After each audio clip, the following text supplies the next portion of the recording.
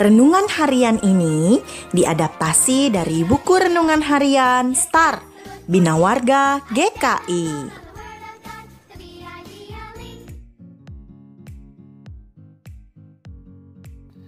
Halo adik-adik, kembali lagi dengan Kalili di sini.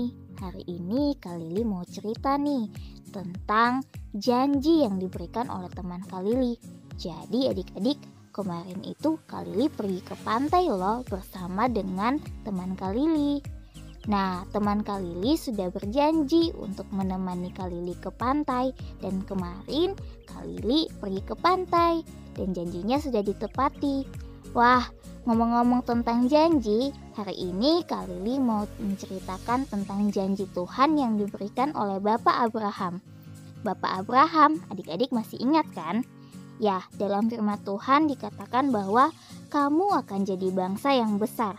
Dan benarlah, walaupun awalnya Bapak Abraham yang sudah sangat tua hanya mempunyai seorang anak dari Ibu Sarah, tetapi dari seorang anak ini Tuhan membuat anak cucunya berlimpah-limpah banyaknya.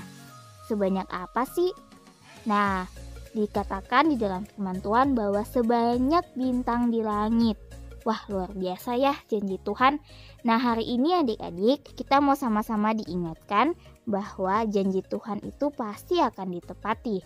Sama seperti Roma 4 ayat 21b mengatakan Allah berkuasa untuk melaksanakan apa yang telah ia janjikan.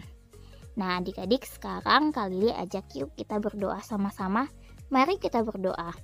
Tuhan Yesus, aku percaya kepada janjimu karena engkau selalu menepatinya. Amin. Bye-bye adik-adik, sampai jumpa di lilin kecil berikutnya.